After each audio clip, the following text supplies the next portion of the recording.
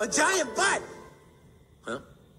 Uh, it's, it's not a butt. It's a lamp in the shape of the Love Crater meteorite.